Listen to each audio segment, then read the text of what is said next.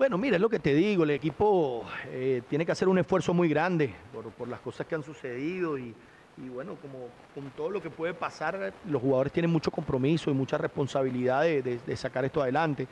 Nosotros no solo nos quedan partidos duros como, como Caracas, nos queda eh, solo dos partidos en casa, que es Mineros, el próximo partido que vamos a jugar después de, de los dos partidos con Defensor Sporting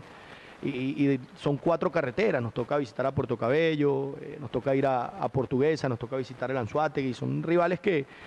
sabemos que tenemos la necesidad de, tener el compromiso y el sacrificio que, tuvimos hoy. Eh, jugamos cuando pudimos jugar, eh, nos defendimos cuando nos teníamos que defender, contragolpeamos, creo que, mal a la hora de, finalizar las acciones y, y como te digo, tuvimos ese toque de fortuna que a lo mejor en partidos anteriores eh, generando muchas más ocasiones no la metemos, eh, eh, controlando un partido lo perdemos en el, en, el, en el, último minuto, lo empatamos en el último minuto como en Valencia, ganando 2-1 con, con, tres jugadores más, como ganando 2-1 contra Aragua en casa también en el 89, terminamos recibiendo un gol que volvemos a hacer dos puntos y, y bueno, hoy jugó a favor de nosotros, y creo que hicimos un buen partido, tampoco es que no merecimos ganar, pero, pero creo que Caracas tiene sus armas y también hizo un partido bueno, por decirlo de alguna manera, y que pudo haberse llevado algo más. Entonces, bueno, nosotros nos aferramos a, que esta victoria sea un impulso, ahora ya pasar esta página y, enfocarnos en, Defensor, que, bueno, que nos toca el viaje hacia Uruguay y después recibirlos en, Maturín.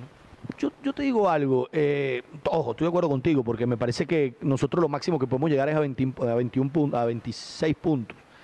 Y normalmente eh, en la estadística en los torneos cortos con 23, con 24 son los puntos que entra el octavo.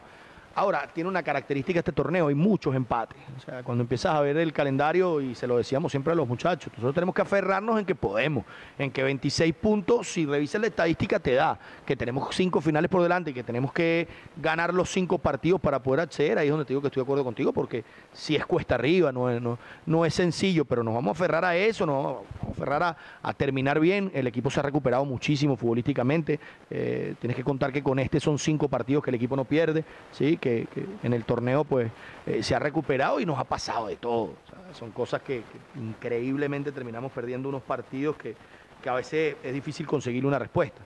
Entonces, bueno, nos vamos a, aferrar a, que todavía pueden dar las posibilidades con esa estadística que te digo y, que el torneo siga con, la cantidad de empates que, hoy a las 7 de la noche Portuguesa y,